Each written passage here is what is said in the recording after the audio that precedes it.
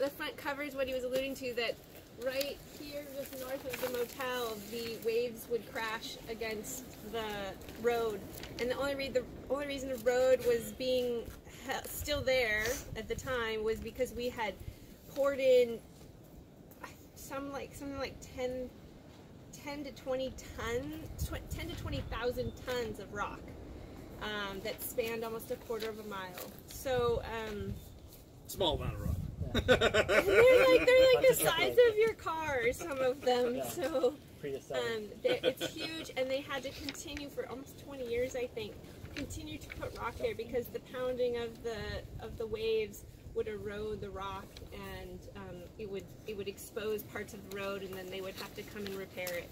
So this this project was. Um, the main point of this project was to get the road, as, as Sean mentioned, to get the road. What do you call yourself, Sean? Or Sure. Yep. No. No. No. No. No. No. Sounds good. Sounds good. Sorry, uh, to get it realigned to the east to avoid that issue um, and, and to make the road sustainable for the next 75 to 100 years.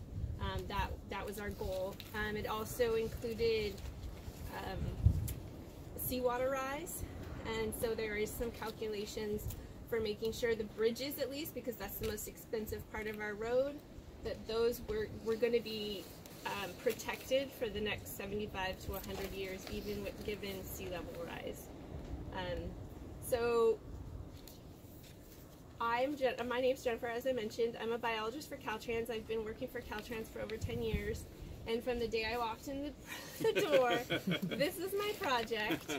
I um, the biologist who had this project before is is an excellent biologist, and he did all of the botanical surveys and all of the um, uh, wildlife surveys for this project. And it's a it is an amazing location, and it might not seem like much right now because it's so dry and it's the, it's at the right at the beginning of the winter.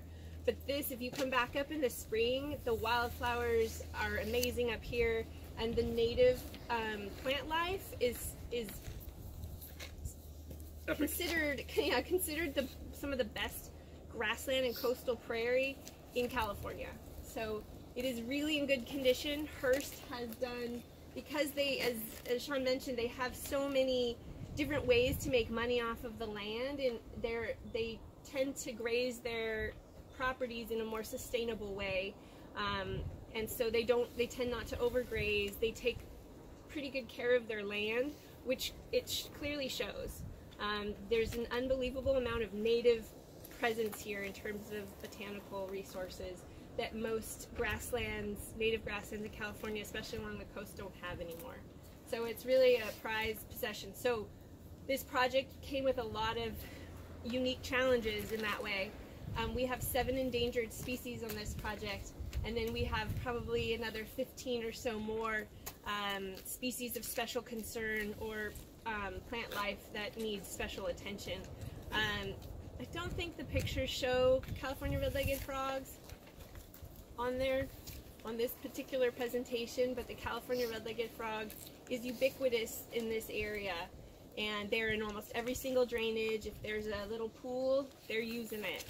Um, and we have elephant seals, as you guys saw when you came through here. And those are also a protected species under the Marine Mammal Protection Act, as well as um, they're fully protected as well. Um, Oh, really? partly- uh, yeah. Interesting. I would go home to my boy, my young boys, and be like, elephant seals. like they would, they really were a challenge. Partly because they're just enormous, um, and then they're full of hormones. so the combination of the two um, made it really challenging to keep them away from the project sites um, and the construction activity. And um, some of those pictures will show our one of our biggest challenges was removing the old culverts. And because as you guys drove over, back there you, you drove over two bridges, and then we have a third bridge that you guys haven't driven over yet.